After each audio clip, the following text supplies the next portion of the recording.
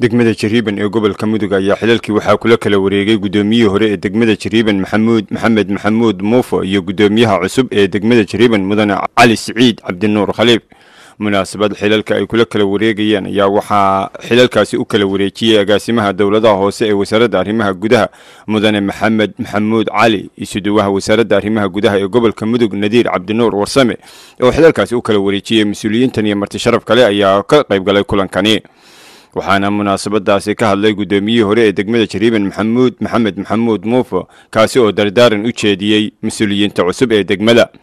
Barnaamijka jira oo hay'adaha cusub wataan oo maamulka hadda jira degmo walba deegaan walba njo baa ka imaanahaya wuxuu leeyahy annagaa naga tirsantahay annagaa naga tirsantahay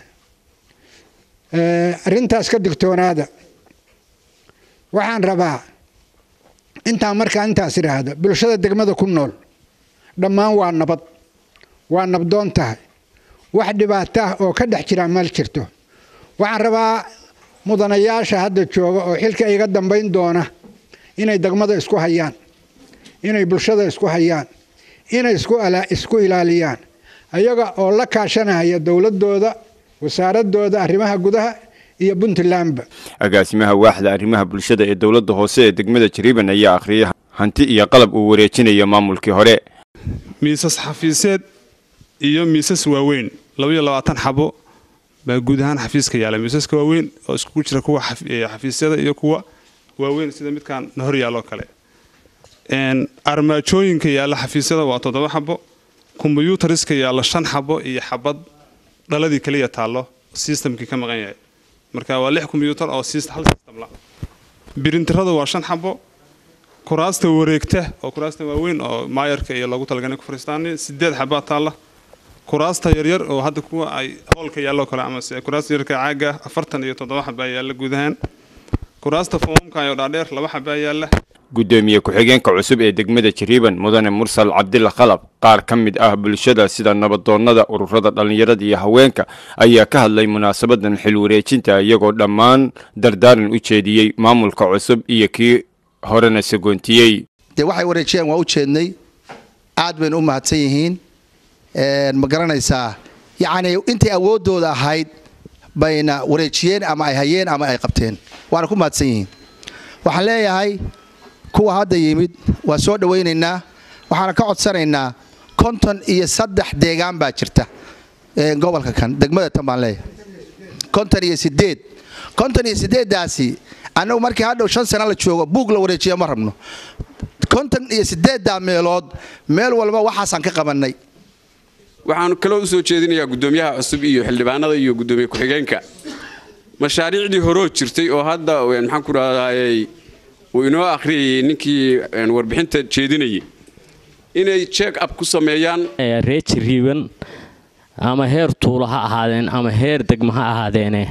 Haddiinaan dowladnimada taageerin dowladnimaduna waxay ku hirgashaa qofka khaldan oo la qabto iyo dakhliga oo la soo saaro nidaamka dowladda la ilaaliyo.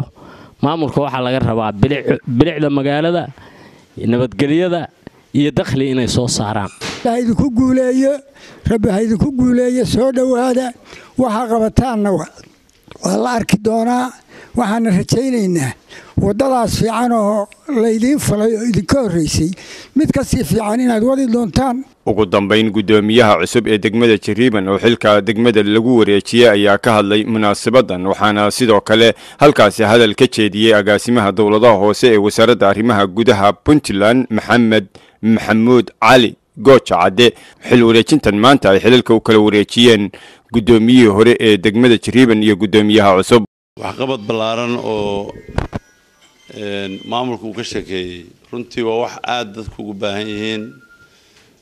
Waxaa muhiim ah in bulshada gobolka mudug iyo degmada jariiban ay ku baraarugaan muhiimadda ay u leedahay dekedda garacad oo hadda faa'iidadeedii iyadoon weli aan furmin laga dareemayo dhulkii iyo waddooyinkii iyo magaalooyinkii. In mashaariicda intaa la eg dadkii keenay ee hogaaminaya iyo maamulka iyo shacabka ay iswaaqfa ay wada shaqeeyaanna waa very important oo horumarka deegaan ku tallaabsanayo. Annagu ka maamul ahaan waxaan awoodda saari doonaa in aan mar walba ka shaqayno isku xirka bulshada. Waxaan qodobka ugu muhiimsan oo bogaadinaya waxaa weeye hay'adaha heer wasaaradeed u fadhiya isuduwayaasha iyo fidiyaasha heer gobol iyo heer wasaaradeed. Waxaa la rabaa in ay ku faylaan maamulka heer degmo ugu sarreeya guddoomiyuhu ee uusan dhihin aniga waxaa laga xukumaa wasaaraddii heer mataqaanaa caasimaddii joogtay oo state level oo dowladda dhexe ah. Sababta waxa weeye hanaanku waxa weye in la wada shaqeeyo waxaa la qaatay maamulka siyaasadda maamul daadejinta waxyaabaha asaasiga ah oo dhan waxay ku xiran tahay heer degmaa loo soo daadejiyey marka waxa weeye waa waxa weeye guddiga farsamada baa la yidhaahdaa. Cabdikhayr maxamed jaamaca puntland t v jariban